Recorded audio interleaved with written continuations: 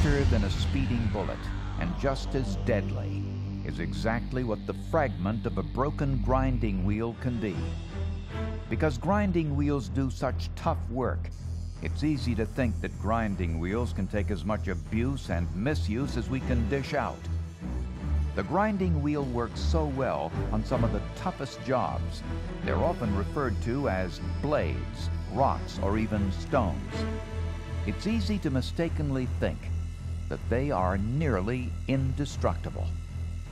The fact is, a grinding wheel is actually a man made tool that is made up of thousands of small abrasive cutting grains that have been bonded together by an organic resin compound. While the jobs they perform allow you to effectively grind, form, and finish the toughest materials, grinding wheels can become damaged if handled improperly. Moisture, extreme temperatures, and rough treatment can damage your grinding wheel. The most important thing for us to remember when using a grinding wheel is that if damaged or misused, a grinding wheel can be as dangerous as a bullet.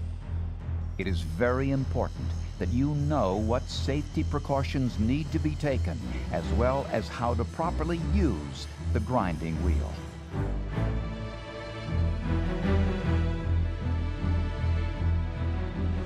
Safety is a critical concern long before you begin to grind. With a commitment to excellence and total quality, Norton Company takes great pride in providing you a safe, effective tool. So it is critically important that all abrasive wheels be protected while waiting to be used. Wheels not stored properly can be damaged. Damage that may go undetected by conventional means of inspection until they are put into use. Storage should be arranged to allow for the removal of wheels without disturbing other wheels. Wheel stock should be rotated to minimize the possibility of damage from lengthy storage. Suitable racks, bins, drawers, or boxes must be used to store the various types of wheels. Wheels should never be stored where they will be exposed to water, solvents, extreme cold temperature, or humidity conditions that cause condensation on the wheels.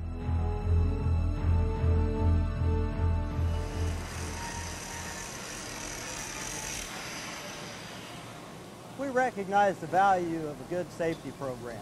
We believe that safety is the foundation of our reputation combined with our productivity and quality. We believe the success of our safety program is with each and every one of our employees participating in our safety program. Your personal safety and the safety of your coworkers always begins with you. Choosing to wear the proper safety equipment, such as a hard hat, authorized safety glasses, face shield, gloves, leather apron, arm guards, safety boots, and earplugs will make your job safer and increase your productivity. Read and review on a regular basis the ANSI B7.1 Manual of Safety Requirements for the Use, Care, and Protection of Abrasive Wheels. Compliance with OSHA ANSI B7.1 and the safety guides packed with grinding wheels is required. A copy of these publications may be obtained free by writing to the manufacturer printed on the wheel.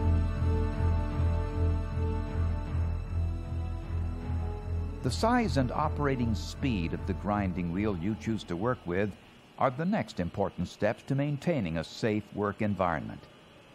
Never choose a grinding wheel that is too big for the machine you have chosen to use. To make this wheel fit on this machine, the guard and mounting flanges would have to be altered, making the machine unsafe to operate. Always use the grinder as it is intended to be used. A 7 inch wheel on a machine designed for 7 inch wheels, and a 4.5 inch wheel on a machine designed for 4.5 inch wheels. A proper guard is really important on a grinder because one time I saw a grinder blade come apart and all the fragments that were flying uh, would have hit the guy in the face or in the body, and they protected his body and face both. So it's really important to have a proper guard on your grinder at all times. Never attempt to mount a cutoff wheel on a right angle grinder that is not specifically designed, guarded, and has the proper speed for cutoff wheels.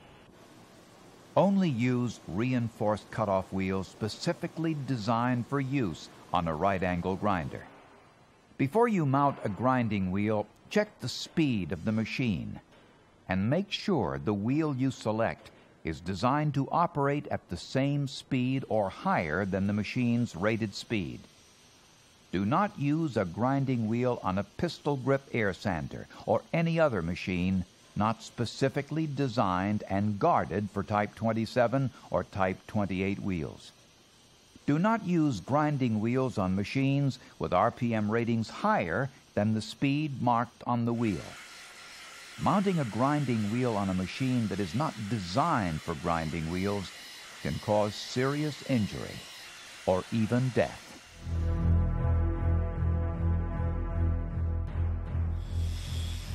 When mounting the grinding wheel on your machine, the first thing you always want to do is unplug your machine before removing the old grinding wheel.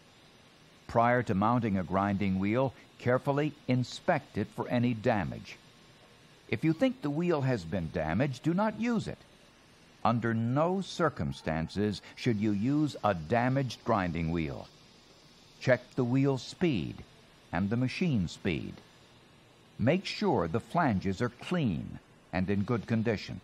Once the grinding wheel is mounted, reconnect the machine, adjust the guard if necessary, and place it in an enclosed area and allow it to run for one full minute. If the wheel was damaged in transportation or handling, it will most likely break in the enclosed area. When a discard mount is not already attached to the grinding wheel, a reusable kit mount can be used to mount a Type 27 or Type 28 wheel. The reusable kit mount comes with a back flange, bottom flange, and Allen wrench for tightening the bottom flange.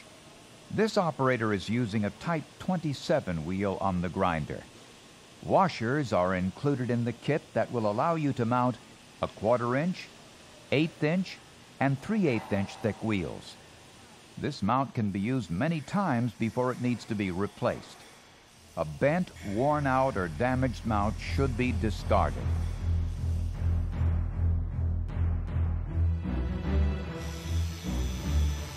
This operator is using a 4.5 by quarter inch Type 27 wheel properly. All of the grinding is on the bottom of the wheel at a slight angle to the work. Never grind on the top of a Type 27 wheel. This machine is properly guarded and adjusted so the guard is positioned between the operator and the grinding wheel. Never use excessive side pressure or bump a Type 27 grinding wheel. Always be certain that no one is standing in the spark stream during the grinding operation. Care should be taken to shield any flammable material. This is a 9 by quarter inch type 27 grinding wheel. Notice he is grinding on the correct surface. The guard is properly placed between the grinding wheel and operator. When this operator is done grinding, he will allow the wheel to come to a complete stop and place it in a safe storage rack. This storage rack is a permanent fixture and part of this workbench. When a machine and wheel are put down, even for a short period of time, they must be stored correctly. They must never be dropped or placed where they could be pulled off of a table or bench onto the floor, as this would damage the machine and the grinding wheel. If the machine is set on the workbench and is accidentally knocked off of the table and damaged, the operator could come back and start the machine, not realizing what has just happened. If the wheel or machine had been damaged, the operator could have been seriously injured. This is the cause of many grinding wheel accidents. If you know a machine and wheel have been dropped, the wheel should be removed from the machine, inspected, and discarded if damaged. Type 28 wheels have saucer-shaped grinding rims and are designed for applications where a very shallow angle is required or for side grinding. The Type 28 wheel should never be used for cutoff or notching operations. In this application, an eighth-inch thick Type 27 grinding wheel is being used. The outer periphery of the grinding wheel is doing the work. This wheel is designed for getting into tight places. Care must always be taken to avoid excessive side pressure or jamming the wheel. With this thinner Type 27 wheel, excessive side pressure can cause this wheel to break.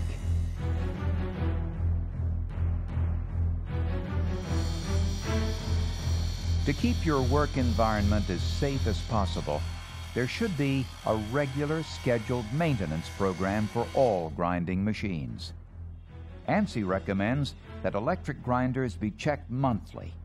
Machine speed should be checked after any maintenance, repair, or if anyone suspects the machine speed may be incorrect. Before checking, disconnect the machine from its power source. Remove the grinding wheel and any loose objects from the spindle. Next, mark the spindle with reflective tape at a location where you can clearly read the machine speed. There is more than one type of tachometer. In this demonstration, a phototachometer is being used to check the speed. Plug the machine back in and direct the light beam at the tape. Start the machine and take a reading. The speed reading, along with the date and serial number of the machine, are recorded.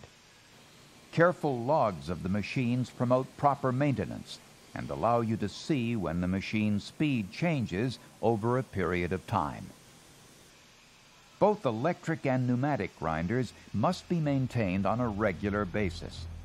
ANSI recommends that air-driven or pneumatic portable grinders be checked after 20 hours of use or once per week whichever comes first. As with electric grinders, remove the wheel and loose objects from the spindle. Apply reflective tape to the spindle. The reading, along with the date and serial number of the machine, will be recorded in a log. Proper air pressure on pneumatic machines is critical to your safety. If the machine is built and designed to operate at 90 psi, the air regulator at the workstation must be set to 90 psi or less. An improper setting on the regulator could cause the machine to operate in an overspeed condition, putting the operator and bystanders at risk. The grinding wheel is one of the most widely used industrial tools. Coupling this powerful tool with simple safety guidelines can make your job easier, safer, and more productive. Always wear the proper personal safety gear. Always use a properly guarded machine. Know the ANSI safety guidelines. Inspect and test all wheels before using. Select the right wheel, size, and speed for the right machine. Always cradle a machine in a permanent storage rack when not in use. Make sure all of the machines are inspected and maintained on a regular basis. Remember, you are as safe as you choose to be. Choose to follow the safety guidelines. It's the smart thing to do.